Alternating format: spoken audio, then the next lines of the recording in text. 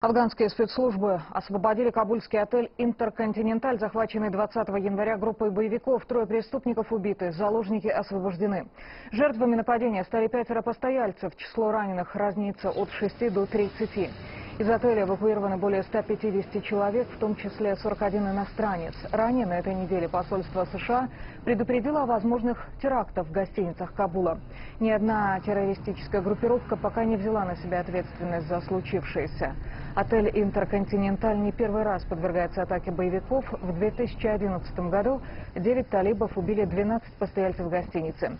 В спецоперации по освобождению заложников все нападавшие были ликвидированы. В 8.40 вечера произошел трагический инцидент, когда трое нападавших вошли в отель. Я не знаю как и не понимаю этого. Я пришел сюда, потому что некоторые наши друзья, повара и официанты этого отеля. Мы из этого района. Родственники моих друзей сказали мне, что они в ловушке внутри. Я позвонил им, они сказали, что нападавшие находятся в отеле.